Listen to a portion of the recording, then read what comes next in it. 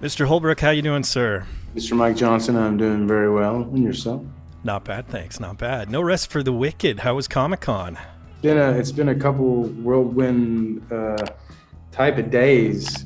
Just I'm working in Chicago and flew from work to go be a part of that at Comic Con, and, and, man, um, I have I can I can easily say I've never been a part of anything like that before. Well, and you've got some major projects coming up, but let's talk about Vengeance first, of course.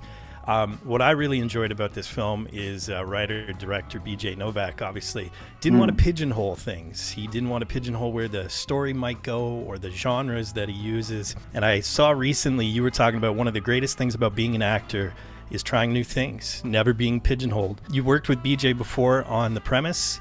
Was that kind of need to try new things was that something that you guys kind of instantly created a kinship with? Yeah i mean after the the, the premise experience um, I, I, knew that bj was a very uh, unique talent. Um, floating around in the ethos. But after the premise, um, it was just absolutely confirmed for me that this this guy is um, is the real deal, and he knows exactly what he's doing. And so, uh, you know, the opportunity to to to like you said, not stay in one lane. Uh, it's it, it, keeps me young. You know, it's it's something that.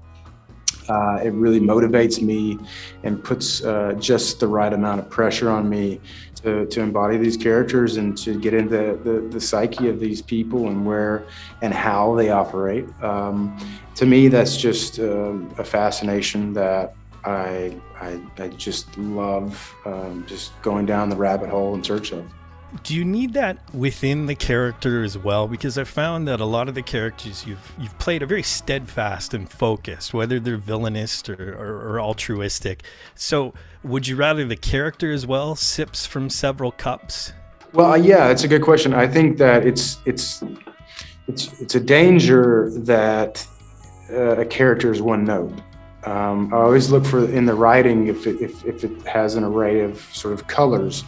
Um, and so, and, and, if there's not, then how can I inject some humor into the character? I, I think that's probably why I won the uh, Logan auditions because, um, you know, there was a sense of humor that I could see in there. You know, in comedies, it's good to for it to be a comedy. For a horror film, it's good for it to be a horror film. But for a film, film is a is a reflection of life, and life is never one beat. It, it is it is sorrowful. it, it is um, ha- you know it can be happy. It can be um, it can be funny. You know, it can be many many things. I will say on that note, you probably gave one of the best line deliveries in Logan, when you know your forces, the Reavers, are shooting at uh, X23, and you say, "Shooting."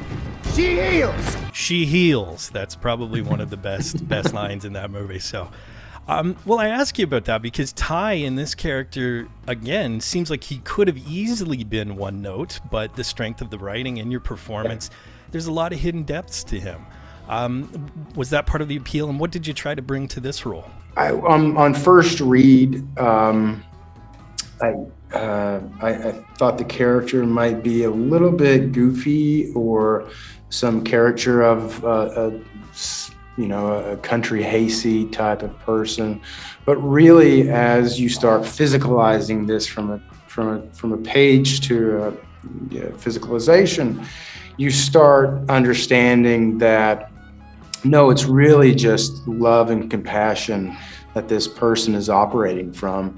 And so he is oblivious to other things because he just has this one common goal of finding out what has happened to my sister because I don't believe the story that's been told to me. So that's the wonderful process of rehearsal and part of, you know, the transformation of all that and, and getting into someone else's headspace. Going back to talking about characters who sip from so many different glasses, the Corinthian, of course, being one of the upcoming characters that you're playing in Sandman, mm. um, seems exactly like that type of character. Can you tell us how fun it was to create that character for the screen and, and to play him?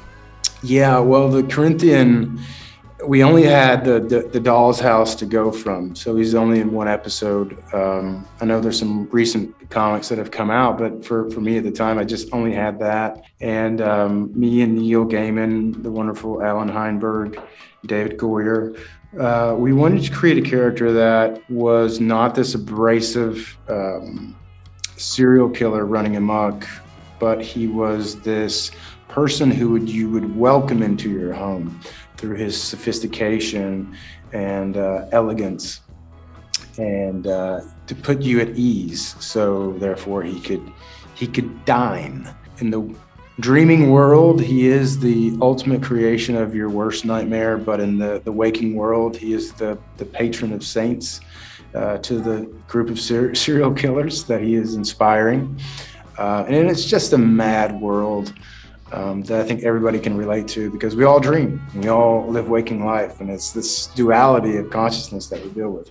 Well, Boyd, I hope you get some rest, but I'm looking forward to seeing you in Justified. I'm looking forward to seeing you in Indiana Jones 5. You got a lot of massive things out there, so can't wait. But take a nap, my friend, and thank you so much for your time. Thanks, buddy. Appreciate the support. Talk to you soon. Hey Real students, thanks for watching. If you want to subscribe to Reel School, click that round Reel School logo right beside me. Also click that damn notification bell so you're aware of all of Reel School's new content. You can follow me on Twitter, and of course, if you get anything out of Reel School, you can always give a little back. Just click the link in the description below or the button down there, and you can become part of my Patreon team.